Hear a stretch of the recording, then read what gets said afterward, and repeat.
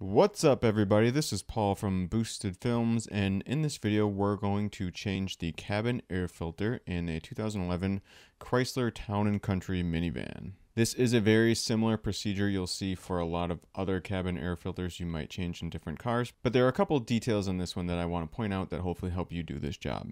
So we got our new cabin air filter here, and we also have some tools. We have a flathead screwdriver and a needle nose pliers. Now you don't need both of these, but you should have at least one of these items. Uh, basically the flathead screwdriver I think is what's going to work best, but I'll cover how you could utilize the needle nose pliers in a little bit. So the first thing we're going to do in this job is open up our passenger side door and then we're going to open up our glove box. If there's anything inside your glove box, you should take it out and just make things a little bit easier. And what we really want to do here is uh, squeeze in the sides of this glove box. And what that does is it allows us to drop the glove box down because our cabin air filter is kind of behind where this glove box is. However, the tricky part with this one is this has like this built-in kind of soft open feature where it opens slowly.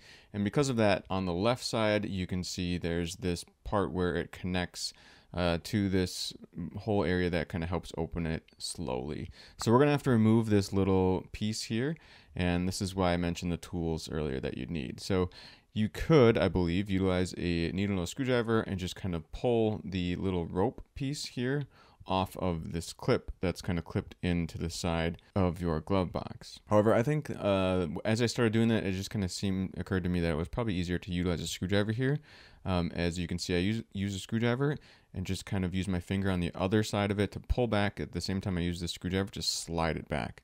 And then once you slide it back, uh, this little piece here should just kind of pop out of place. And that seemed to be the easier route for me as far as uh, getting this free. Now, as I mentioned earlier, these sides kind of squeeze in. They're they're flexible. That's why there is that kind of slit uh, at the top part of uh, this uh, so you can squeeze those in a bit further. So we squeezed in the one on the right, and then you squeeze the one on the left, and this uh, this glove box should just fall down and out of place. And what that's going to do is reveal uh, this cover that covers up where our cabin air filter is. So there's a clip on either side of this cover, and you should just be able to kind of squeeze uh, inward on each of these clips, and that cover should pop off. As you can see, this cabin air filter has not been changed in a long time and was very dirty. Um, there was so much buildup on top. I used a screwdriver first to try to get some of this buildup out of the way uh, because I didn't want any of this stuff really trying to fall into the like blower motor that's below this filter. Uh, so I tried to get some of this top debris out of the way before I actually ended up pulling out this filter. And then you can utilize the same flathead screwdriver to get a little bit more of a grip on this filter if you needed uh, by sliding it uh, kind of up uh, to the bottom here and then just pulling out like this.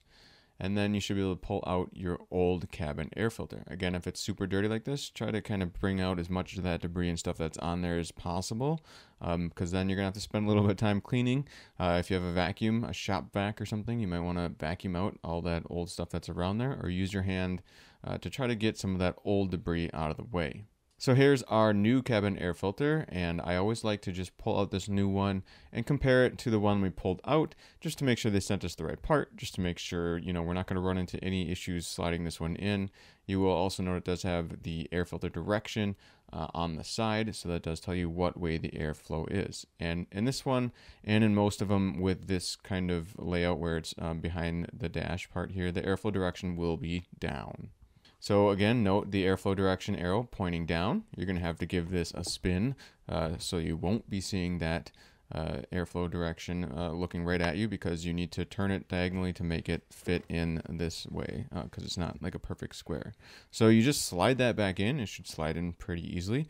Again, you can see I cleaned up all the other debris, um, all the other stuff that was dirtiness that was around there before I put that new one in. And then I'm not sure with this cover, uh, but it appears that it can go either way. I don't think there's an up or a down, because honestly, I took this out the other way with the print uh, being upside down, and I put it back in, what which what made more sense to me with the, just the print being, um, you know, there's some text on here that I had right side up, so it was readable.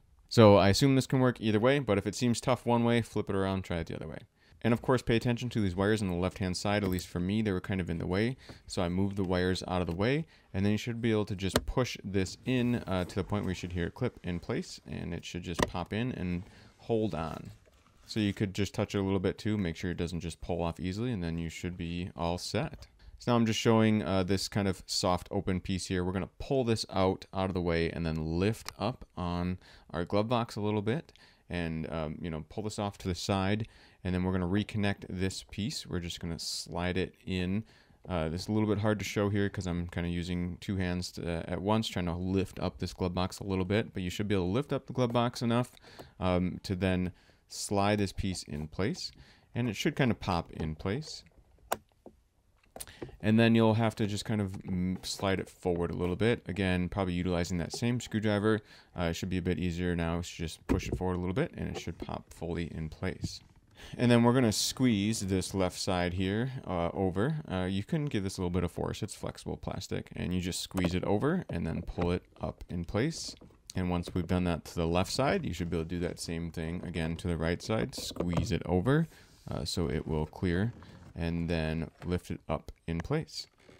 And there you go you should be able to open and close your glove box with ease and it should work uh, just like it did before. So that's about it. That's how I changed the cabin air filter in this particular car.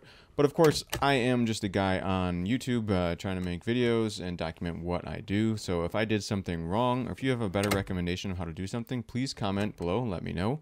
Also, let me know if this procedure worked for a similar vehicle. If you have a different year vehicle, um, even a similar minivan, but maybe not this particular one. If you let me know if this same procedure worked for you in the comments, that would be great. That way, other people looking for how to on this could verify that it works for them as well. So, as always, this is Paul from Boosted Films. Thanks so much for watching.